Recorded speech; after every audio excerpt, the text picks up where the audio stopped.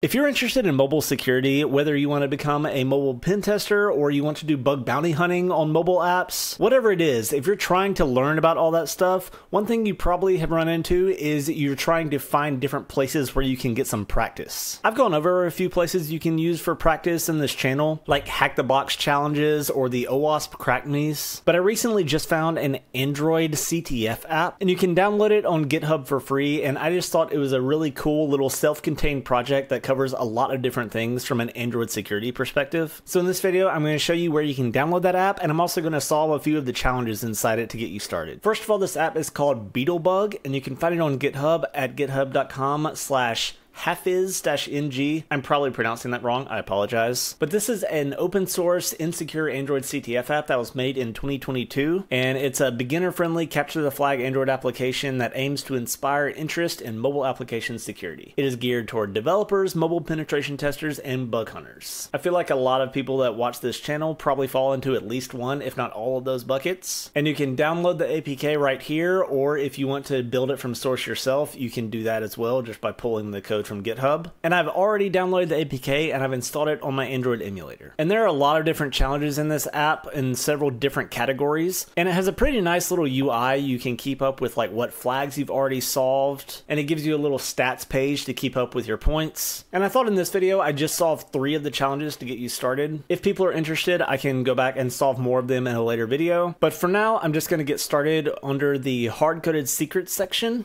And I'm going to look at the second challenge, hard-coding secrets. Locate hard-coded secrets in the application source code. And all the challenges give you a little hint. This one says, find out how sensitive credentials are being stored in plain text without encryption. And there's a promo code to get a 50% discount on this Louis Vuitton backpack. And we need to find that hard-coded promo code in the source code of the application. And anytime I need to find something in the source code, which is a very common thing when doing a mobile pen test, I'm going to take the APK file and I'm going to open it with JADX. And there are a few different ways you could go about finding something something like this, but I'm just going to kind of take the shortcut and say, because we're looking for a promo code, I'm going to go to the search function and I'm going to select all of these different sections where I want to look and I'm going to search for promo. And we see right here, there's a string for uh, Beetlebug Shop promo code. So I'm going to double click on that. And here we see a promo code that is Beetle1759. So I'm just going to put that into the app, submit, and we just got a 50% discount and we can purchase the item. And we just solved our first challenge in this app. So as you can see, a lot of these are not difficult. Some of the topics later on can be a little bit more challenging, but the goal is really to just give you an introduction to a lot of these concepts that you would use if you were doing mobile pen testing, and it just kind of gives you a playground to use to try out some of these different tools and techniques. Next, I can look at one of the ones for data storage, and I can take a look at shared preferences, identify where sensitive information is stored within an application. This one gives us a hint that says find out how sensitive credentials are being stored in plain text in shared preferences. So this is a very common thing when testing an Android app. The shared preferences is a location only file system of the Android device, and a lot of applications will end up storing some sensitive data in that shared preferences, like API keys or hard-coded credentials. And this is always a good thing to check for whenever you're testing a mobile application. So to check this, we're just going to use ADB. And just as a quick aside, I am using an emulator that is running on my Windows host machine, and I'm accessing it from a guest virtual machine.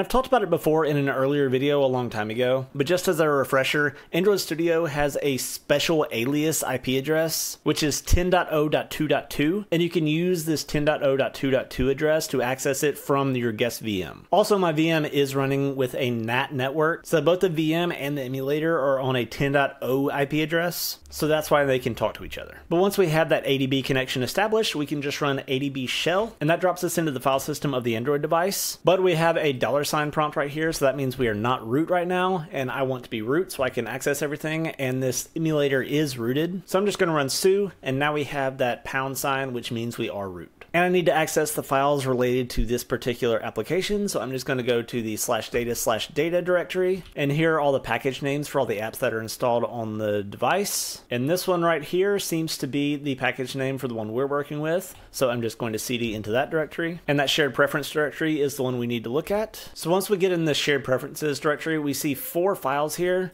Some of them probably aren't actually useful and they're just actual files used by the application, but some of them look pretty interesting. So let's try the user info file. That seems interesting. So this gives us a username and a user token, and it also gives us a flag. So let's try logging in with that username and that user token. Maybe that token is just the password, maybe it's not, and we'll have to find it somewhere else. But let's try it. Okay, login successful. And now we need to enter flag, and I'm going to assume this is the flag we need. Submit. Ooh, incorrect.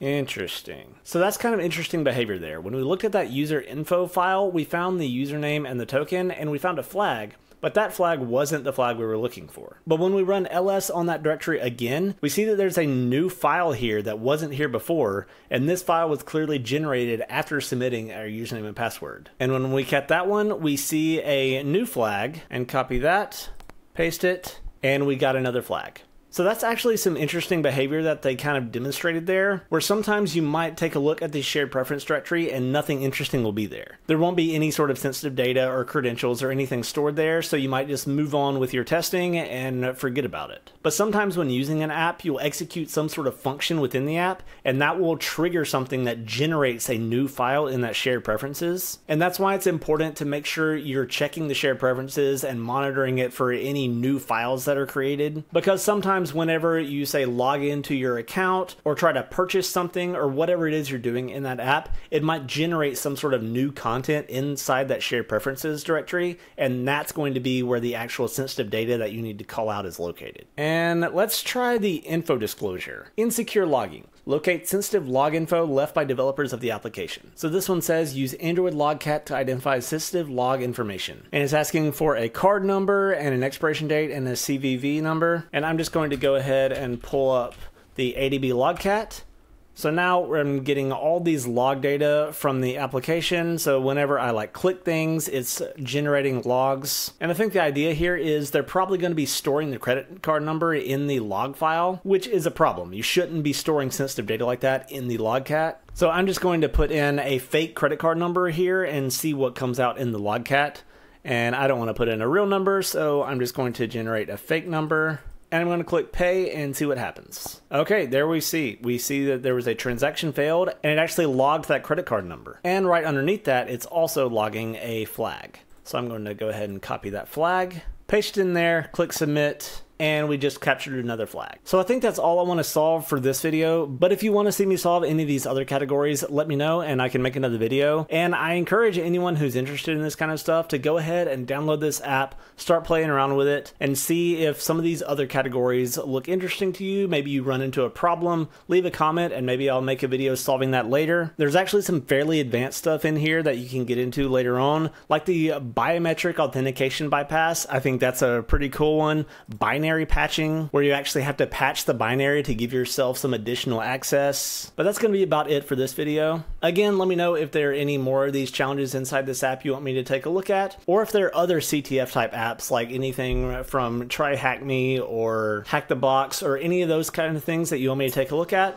Let me know and I'll do my best to get to it.